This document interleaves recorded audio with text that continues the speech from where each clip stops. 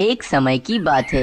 एक काफ़ी हरे भरे घने जंगल में मीनू चिड़िया एक घोंसले में रहती थी। मीनू चिड़िया बहुत ही ज़्यादा दयालु थी। वे हर पक्षी की मदद किया करती थी। सभी पक्षी मीनू चिड़िया को बहुत ही ज़्यादा पसंद करते थे, क्योंकि मीनू चिड़िया सभी पक्षियों के साथ बहुत ही अच्छा बर्ताव करती थी।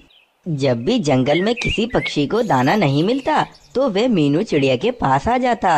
अरे मीनू चिड़िया मैंने आज बहुत ही मेहनत करी लेकिन फिर भी मुझे दाना नहीं मिल रहा है और मैं बहुत ही भूखा हूँ इस वजह से मुझसे ज़्यादा मेहनत नहीं हो रही है। तुम मुझे थोड़ा सा दाना दे दो ताकि मैं वो दाना खाऊं तो मुझमें थोड़ी शक्ति आ जाए फिर मैं अपना दाना ढूंढ सकूँगा। अरे हाँ हाँ कबूतर भैया मैं आपको दाना दे दूँगी क्योंकि आपने मेहनत करी फिर भी आपको दाना नहीं मिला। अगर आप मेहनत ही नहीं करते तो फिर मैं आपको कभी भी दाना न देती। फिर कबूतर वहाँ से दाना खाकर उड़ जाता है।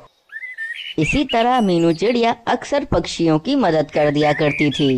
उसी जंगल में एक शातिर कालू कौवा भी रहता था। वे कालू कौवा बहुत ही ज़्यादा आलसी था। और सुना है मीनू चिड़िया पक्षियों को दाना दे देती है। अरे मैं भला दाना जमा करने क्यों जाऊँ? मैं मीनू चिड़िया से जाकर दाना ले लेता हूँ। इस तरह बैठे बिठाए ही मेरा पेट आराम से भर जाएगा। यही सोचकर कालू कौवा मीनू चिड़िया के पास चला जाता है। एरी कैलू कौवे तुम यहाँ पर क्यों आए हो? बताओ तुम्हें क्या काम है? अरे मीनू चिड़िया मुझे कोई काम तो नहीं है। बस मुझे भूख लगी थी तो इसीलिए मैं तुमसे दाना लेने आ गया हूँ। एरी कैलू केवी अगर तुम्हें दाना ही चाहिए तो तुम खुद मेहनत करके ढूंढो। मैं तुम्हें दाना क्यों दूँ? हमें मेहनत करके ही दाना जमा करना चाहिए ना कि दूसरों से मांगना चाहिए। ये बहुत ही गलत बात है। अरे मीनू चिड़िया दाना नहीं देना तो ना दो। इस तरह मुझे जलील तो मत करो। मैं यहाँ से जा रहा हूँ। इतना कहकर कालू कौवा वहाँ से चला जाता है। ये कालू कौआ भी बहुत ही आलसी है। मेहनत करके दाना जमा नहीं करता है। अगर मैंने आज इसे दाना दे दिया तो ये तो कभी भी ज़िंदगी में दाना जमा नहीं करेगा। बस इसी वजह से कालू कौवा मीनू चिड़िया से बहुत ही ज़्यादा जलने लगा। और ये मीनू चिड़िया अपने आप को समझती क्या है? मुझे अब इसका कुछ ना कुछ करना ही पड़ेगा। सभी पक्षियों को ये दाना दे देती है और मुझे दाना नहीं दे रही है। अब मैं सोचता हूँ कि इस मीनू चिड़िया के साथ क्या करना है। देखो, मैं अब इस मीनू चिड़िया के साथ क्या करता हूँ। उस जंगल में मीनू चिड़िया की बहुत ही ज़्यादा इज़्ज़त थी, इसीलिए उसी जंगल में रहने वाली कोमल चिड़िया मीनू चिड़िया से बहुत ही ज़्यादा जलती थी। एरी ये मीनू चिड़िया की इस जंगल में बहुत ही ज़्यादा इज़्ज़त है। सभी पक्षी मीनू चिड़िया को बहुत ही ज़्यादा पसंद करते हैं। पर उसकी तरह मैं भी तो एक चिड़िया हूँ। मुझे जंगल में सभी पक्षी पसंद क्यों नहीं करते हैं? पता नहीं, मुझे समझ नहीं आ रहा है। इस मीनू चिड़िया ने सभी पक्षियों पर ऐसा क्या जादू कर दिया है, जिससे सभी पक्षी इस मीनू चिड़िया को ही पसंद करते हैं? अब मुझे कुछ ऐसा करना होगा, जिससे सभी पक्षी मीनू चिड़िया को छोड़कर मुझे पसंद करें। पर मैं ऐसा क्या करूँ? मुझे तो कुछ भी समझ नहीं आ रहा है। लेकिन अब मैं जल्द ही इस मीनू चिड़िया का कुछ न कुछ करूँगी। दूसरी तरफ़ कालू कौवा भी मीनू चिड़िया से बदला लेने के लिए अपने मन में तरह तरह की योजना बना रहा था। अरे, क्या करूँ इस मीनू चिड़िया के साथ? एक तो सभी पक्षी इस मीनू चिड़िया को इतना पसंद करते हैं। मैं चाहकर भी इसके साथ कुछ नहीं कर सकता हूँ। पर मुझे जल्दी कुछ सोचना पड़ेगा, वरना मुझे बिल्कुल भी शांति नहीं मिलेगी। फिर वे कालू कौवा यही सब कुछ सोच रहा होता है। तभी उसके मन में एक योजना आती है। अरे हाँ इस जंगल में कोमल चिड़िया रहती है। मैं उसे मीनू चिड़िया के खिलाफ जाकर भड़का देता हूँ और फिर देखो मैं उससे क्या क्या करवाता हूँ। फिर कालू कौवा वहाँ से उड़ता हुआ कोमल चिड़िया के पास आकर बैठ जाता है। एरे एरे कालू कौवे, तुम यहाँ पर आकर क्यों बैठ गए हो? तुम्हें क्या काम है मुझसे? अरे अरे कोमल चिड़िया वैसे मुझे कोई काम तो नहीं है। मैं तो ऐसे ही यहाँ पर आकर बैठ गया हूँ। लेकिन मैं तुमसे एक बात कहना चाहता हूँ। हाँ हाँ बोलू काली कौवे। तुम मुझसे क्या कहना चाहते हो? अरे कोमल चिड़िया तुम्हें मीनू चिड़िया से जलन नहीं होती है कि सभी पक्षी मीनू चिड़िया को बहुत ही ज़्यादा पसंद करते हैं। लेकिन तुम भी तो एक चिड़िया हो कोई पक्षी तुम्हें पसंद नहीं करता। तुम्हें तो उस मीनू चिड़िया से बदला लेना चाहिए। अरे हाँ हाँ कालू कौवे तुम ठीक कह रहे हो। सभी पक्षी मीनू चिड़िया को पसंद करते हैं, पर मुझे कोई पसंद नहीं करता। मुझे बहुत जलन होती है मीनू चिड़िया से। अरे हाँ हाँ कोमल चिड़िया, तभी तो मैं तुम्हारी मदद करने के लिए आया हूँ। मेरे पास एक उपाय है, जिससे हम मीनू चिड़िया को सबक सिखा सकते हैं। अच्छा कालू कौवे तो मुझे बताओ वो क्या उपाय है, ताकि हम उस मीनू चिड़िया को सबक सिखा सकें। अरे हाँ हाँ कोमल चिड़िया, अब हम मीनू चिड़िया को दाने की लालच देके उसे अपने एक पिंजरे में कैद कर लेंगे। और फिर मैं तुम्हारे ऊपर मीनू चिड़िया जैसा ही रंग कर दूँगा। तुम्हें सभी पक्षी फिर मीनू चिड़िया समझेंगे, और तुम्हारी इस जंगल में बहुत ही ज़्यादा इज़्ज़त होगी। इस तरह मीनू चिड़िया को अच्छा सबक मिलेगा। अरे हाँ हाँ कालू कौवे ये तो बहुत ही अच्छा उपाय है। अब हम ऐसा ही करते हैं। फिर कोमल चिड़िया उड़ती हुई मीनू चिड़िया के पास जाती है। और कालू कौवा जंगल में एक ज़मीन पर काफ़ी सारा दाना रख देता है। एवे कोमल चिड़िया तुम यहाँ पर क्यों आई हो? अरे मीनू चिड़िया, मैं तो तुम्हें एक खुशखबरी देने आई हूँ। जंगल के कोने वाले हिस्से में बहुत सारा दाना पड़ा हुआ है। मैंने भी वहाँ से खूब सारा दाना ले लिया है। तुम भी जाकर वहाँ से दाना ले लो। अच्छा कोमल चिड़िया, तुम्हारा बहुत बहुत शुक्रिया। मैं अभी जाकर वहाँ से दाना ले लेती हूँ। फिर मीनू चिड़िया उड़ती हुई उन दानों के पास आकर बैठ जाती है। तभी कालू कौवा ऊपर से मीनू चिड़िया पर एक पिंजरा गिरा देता है। इसीलिए मीनू चिड़िया उस पिंजरे में कैद हो जाती है। फिर कालू कौवा कोमल चिड़िया पर मीनू चिड़िया की तरह ही रंग कर देता है। अब कोमल चिड़िया बिल्कुल मीनू चिड़िया की तरह ही दिख रही होती है। अरे अब देखना मीनू चिड़िया। अब ये कोमल चिड़िया की पूरे जंगल में कितनी इज़्ज़त होगी। अब तुम बिल्कुल भी इज़्ज़त नहीं कमा सकोगी। अब तुम सारी ज़िंदगी यहीं पर ही कैद रहोगी और यहीं पड़े पड़े मर जाओगी।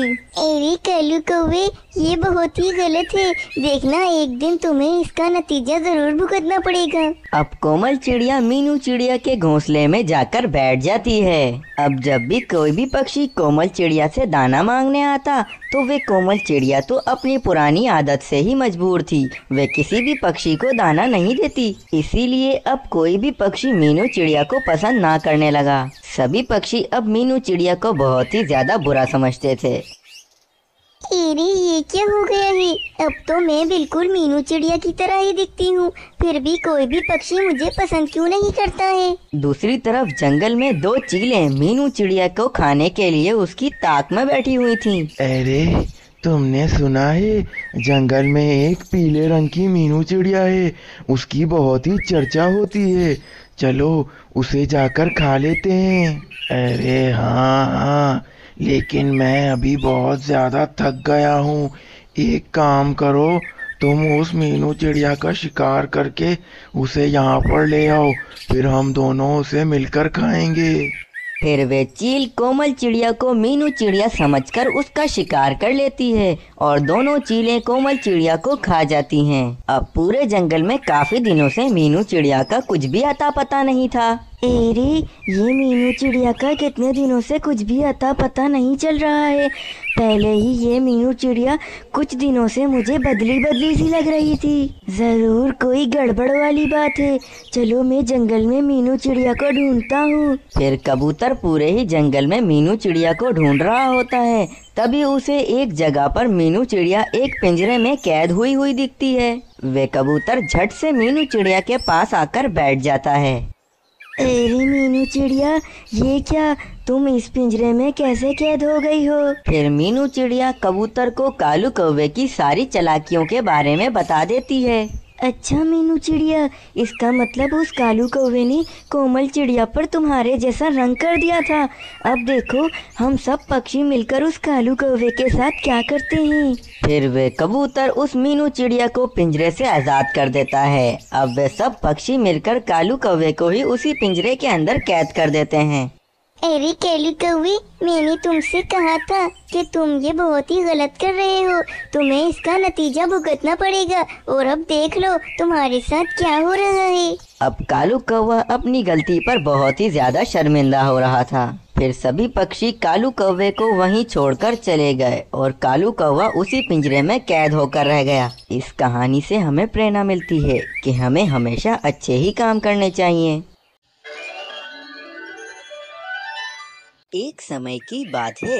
एक हरे भरे से जंगल में मीनू चिड़िया अपने बेटे सोनू चिड़े के साथ अपने घर में रहती थी। सोनू चिड़े का ये पहला जन्मदिन था, जिसकी खुशी में मीनू चिड़िया जंगल के सभी पक्षियों को दावत देना चाह रही थी। लेकिन मीनू चिड़िया बस यही सोच रही थी कि वे ऐसा क्या बनाए जो सभी पक्षियों को खाने में बहुत ही ज़्यादा पसंद आए।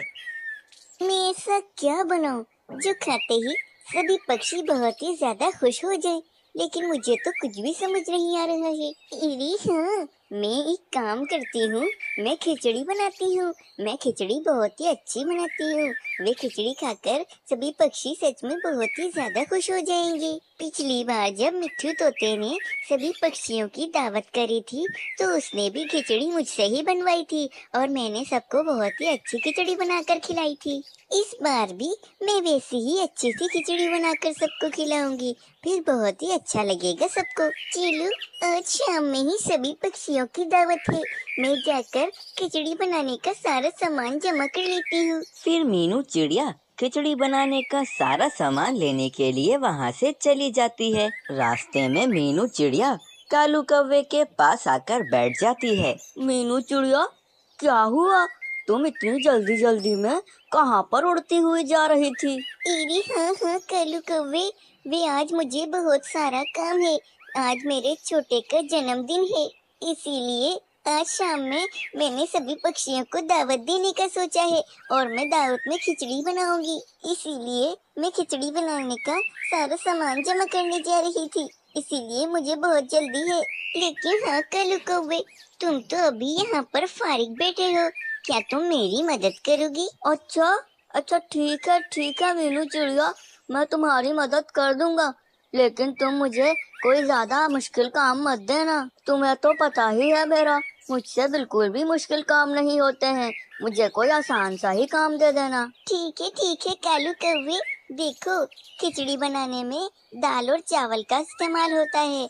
मैं चावल जमा करने जा रही हूँ और तुम दाल लेकर आ जाओ। इतना कहकर मीनू चिड़िया चावल जमा करने के लिए वहाँ से चली जाती है।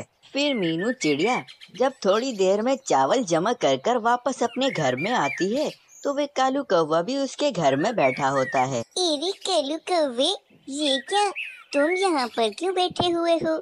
मैंने तो तुम्हें दाल लाने को कहा था, लेकिन तुम तो अभी तक दाल नहीं लाए हो। और वो मीनू चिड़िया, मुझे तो पता ही नहीं है कि ये दाल आखिर कहाँ से मिलती है। तुमने तो मुझे ये बताया ही नहीं था कि दाल ये कहाँ पर मिलती है। तेरी केलू कौवे तो तुम्हें क्या इस बारे में खुद बिल्कुल भी कुछ नहीं पता है? अच्छा छोड़ो, अब तुम एक काम करो, तुम नमक ही लेकर आ जाओ, दाल मैं लेकर आ जाती हूँ। और मीनू चिड़िया मुझे तो ये नमक का भी नहीं पता है। आखिर ये नमक कहाँ पर मिलता है? तुम सच में बिल्कुल भी काम नहीं करते हो। अगर तुम काम करते रहते तो तुम्हें इन सब चीज़ों का ज़रूर पता होता कि ये सब चीज़ें कहाँ से मिलती है। जंगल में ऊँचे पहाड़ों के पीछे ही नमक की कान है। तुम जाओ और वहीं से ही नमक लेकर आ जाओ। अच्छा ठीक है ठीक है मीनू चिड़िया। अब तुम जाओ दाल लेने के लिए और मैं नमक लेकर आ जाता हूँ। फिर मीनू चिड़िया वहाँ से दाल लेने के लिए चली जाती है। रास्ते में मीनू चिड़िया को मिट्टू तोता एक पेड़ पर बैठा हुआ मिलता है। मीनू चिड़िया क्या हुआ भाई? तुम इतनी जल्दी जल्दी उड़ती हुई कहाँ जा रही हो? तुम्हें कोई परेशानी है क्या? तुम बहुत ही चिंतित लग रही हो। हाँ हाँ मिट्टू तोते, वे दरअसल आज मेरे छोटे का जन्मदिन है, इसीलिए मैं सभी पक्षियों की दावत करना चाहती हूँ आज शाम में। लेकिन अब समय बहुत ही कम है और मुझे सभी पक्षियों के लिए खिचड़ी बनानी थी। बस मैं जल्दी जल्दी उसी का सामान जमा कर रही हूँ, ताकि मैं जल्दी से खिचड़ी बना सकूँ। लेकिन अब समय बहुत ही कम बचा है। मिट्टू तोते, क्या तुम मेरा अब एक काम करोगे? हाँ हाँ बोलो मीनू चिड़िया क्या काम है तुम्हारा? मुझे जल्दी बताओ मैं तुम्हारा काम कर दूँगा। मिट्टू तोते तुम सभी पक्षियों को ये बता देना कि मैंने सभी पक्षियों की रात में दावत रखी है तभी सब पक्षी मेरे घर पर आ जाएँगे। हाँ हाँ मीनू चिड़िया मैं तुम्हारा ये काम अच्छे से कर दूँगा। मैं सभी पक्षियों को ये बात बता दूँगा। अभी तुम जाओ और जल्दी जल्दी खिचड़ी बनाने का सामान जमा करो। फिर मीनू चिड़िया वहाँ से उड़ती हुई चली जाती है। दूसरी तरफ़ कालू कौवा अभी तक नमक जमा करने के लिए नहीं गया था। और ये हवाएँ कितनी तेज चल रही हैं, और ठंड भी कितनी है, और पहाड़ों की तरफ़ तो बहुत ही ज़्यादा तेज हवाएँ चल रही होंगी। नहीं भाई, नहीं, मैं पागल थोड़ी हूँ जो इतनी ठंड में नमक लेने के लिए जाऊँगा। वह मीनू चिड़िया ही पागल है वे आएगी तो मैं उसे ही नमक लेने के लिए भेज दूँगा। मैं तो नहीं जाने वाला। इतनी ठंड हो रही है। एक काम करता हूँ मैं यहाँ पर थोड़ा आराम कर लेता हूँ। फिर थोड़ी देर के बाद जब मीनू चिड़िया दाल लेकर घर में आती है तब भी कालू कौवा उसी के घर में बैठा होता है। कालू कौवी वाह तुम कब से इतने फुर्तीले हो गए हो? तुम मुझसे पहले ही नमक जमा करके ले आई हो। अरे नहीं नहीं मीनू चिड़िया मैं तो नमक जमा करके नहीं लाया, क्योंकि मेरी उम्र तुम्हारी उम्र से बहुत ही ज़्यादा है। मेरे परों में अब वे जान नहीं रही है कि मैं उन परों से उड़कर इतनी ठंड में नमक जमा करने के लिए जा सकूँ। इसीलिए मैं यहाँ पर आराम कर रहा था, और तुम ही अब नमक जमा करने के लिए चली जाओ। मुझे कोई और काम दे दो, मैं वे काम कर लूँगा। एरी केलू कौवे इतनी भी कोई ठंड नहीं है अब बाहर।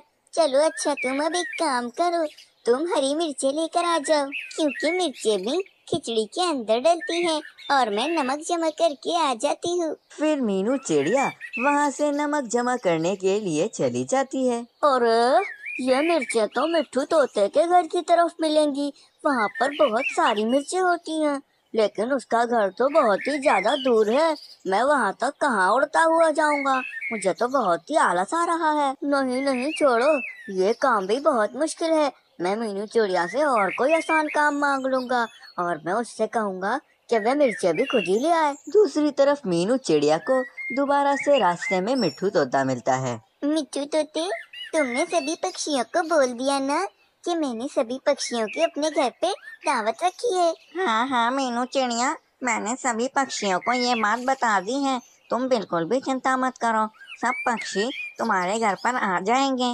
लेकिन क्या हुआ?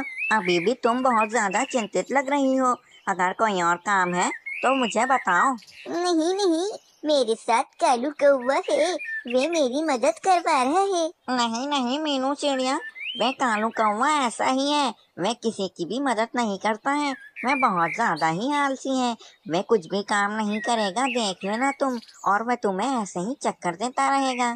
चलो मीनू चिड़िया, अभी जल्दी तुम जिस काम के लिए जा रही थी, उस काम के लिए जाओ। फिर मीनू चिड़िया वहाँ से उड़ती हुई चली जाती है। फिर अब जब मीनू चिड़िया दोबारा से घर में आती है तो अभी भी कालू कौवा उसके घर में ही होता है। एरी कालू कौवे, तुम तो अभी भी यहाँ पर बैठे हो। अगर तुम्हें कोई काम नहीं करना था तो तुम मुझे पहले ही बता देते। और मीनू चिड़िया, तुम गुस्सा मत करो। अभी बहुत सारे काम हैं। मेहमानों को खाना देना, पानी देना, मैं उनमें से कोई आसान काम कर लूँगा। तुम जाओ और मिट्टू तोते से मिर्चे लेकर आ जाओ। फिर मीनू चिड़िया वहाँ से मिर्चे लेने के लिए चली जाती है। और थोड़ी देर के बाद मीनू चिड़िया मिर्चे लेकर वापस आ जाती है। फिर मीनू चिड़िया आग पर खिचड़ी तैयार करने लगती है। उस खिचड़ी की खुशबू बहुत ही अच्छी आ रही थी। एरी केलू कौवे अब तुम इस खिचड़ी को यहाँ पर बैठकर देखो। मैं खिचड़ी के लिए थोड़े बहुत गरम मसाले लेने के लिए जा रही हूँ। फिर मीनू चिड़िया वहाँ से गरम मसाले लेने के लिए चली जाती है। दूसरी तरफ़ कालू कौवे को उस खिचड़ी की खुशबू बहुत ही ज़्यादा अच्छी लग रही थी। और ये खुशबू तो कितनी अच्छी है। एक काम करता हूँ, मैं थोड़ी सी खिचड़ी खा लेता हूँ। मीनू चिड़िया को कौन सा पता लगेगा? कालू का हुआ, उस खिचड़ी को खाने लगता है। वे खिचड़ी इतनी ज़्यादा स्वादिष्ट थी। कि कालू कौवा रुक ही नहीं पाता है। वे सारी की सारी खिचड़ी ही खा जाता है। और ये क्या हो गया है मुझसे? ये तो मैंने सारी की सारी खिचड़ी खा ली है। मीनू चिड़िया मुझ पर बहुत ज़्यादा गुस्सा करेगी अब। मैं एक काम करता हूँ मैं यहाँ पर सो जाता हूँ। मीनू चिड़िया आएगी तो मैं कहूँगा मुझे तो पता ही नहीं है कि उसकी खिचड़ी कौन खा गया है। फिर कालू कौवा वहाँ पर सो जाता है। फिर थोड़ी देर बाद सभी पक्षी आ जाते हैं। मीनू चिड़िया कालू कौवे से पूछती है। एरी कालू कौवे ये खिचड़ी कहाँ पर चली गई? मैंने तुम्हें कहा था कि तुम यहाँ पर बैठकर खिचड़ी को देखो और तुम सो गए हो। देखो अब ये खिचड़ी पता नहीं कहाँ चली गई है। और मीनू चिड़िया लगता है कोई इस खिचड़ी को चुरा कर ले गया है लेकिन अब हम क्या कर सकते हैं इसमें? फिर थोड़ी देर के बाद कालू कौवे के पेट में बहुत ही ज़्यादा दर्द होने लगता है। क्योंकि उसने बहुत सारी खिचड़ी खा ली थी। उस दर्द के मारे कालू कौवे के मुँह से निकल ही जाता है। और ये मुझसे कितनी बड़ी गलती हो गई है। मैंने इतनी सारी खिचड़ी खा ली है। अब मेरे पेट में कितना दर्द हो रहा है। आहा। सभी पक्षी ये बात सुनकर कालू कौवे पर बहुत ही ज़्यादा गुस्सा होते हैं और उसे खूब खरी खोटी सुनाते हैं। इस कहानी से हमें प्रेरणा मिलती है कि लालच बहुत ही बुरी बला होती है।